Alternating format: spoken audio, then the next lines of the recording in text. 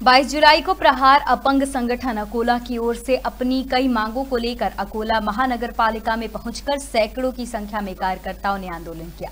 प्रहार दिव्यांग संगठन के अध्यक्ष मोइन अली का कहना है कि उनकी मांग है कि ट्रेलर आने वाला है और वही दो दिन में औरंगाबाद में लाखों की संख्या में विधायक बच्चू कडू के नेतृत्व में बड़ा आंदोलन रखा गया है। उन्होंने अपनी मांगे नगर पालिका के सामने रखी है और यह मांगे पूरी नहीं होती हैं तो वह उग्र आंदोलन अपनी मांगों को लेकर करेंगे। अकोला से संवाददाता शाहिद इकबाल की रिपोर्ट। नगर पालिके में आए थे दिव्यांगों को समस्याओं का निराकरण करने के बारे में। दिव्यांगों को घरकुल नहीं मिलता, दिव्यांगों को पेंशन में वाड़ होनी चाहिए, दिव्यांग खिलाड़ियों को साहित्य को उपलब्धता होनी चाहिए।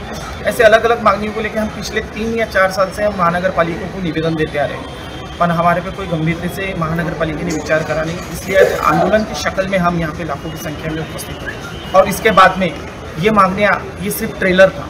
अभी शुरुआत होने जा रही है नौ अगस्त। वंदनीय बच्चू भाऊ इनके नेतृत्व में संभाजी नगर औरंगाबाद इसमें लाखों की संख्या में दिव्यांग बांधव उपस्थित रहने वाले हैं। दिव्यांगों के वही विषय को लेकर दिव्यांगों का घटकुल होना चाहिए, दिव्यांगों को साहित्य मिलना, आरक्षण मिलना चाहिए दिव्यांगों को। ऐसे सब मुद्दों को लेकर हमें सब वहाँ पर जाना चाहिए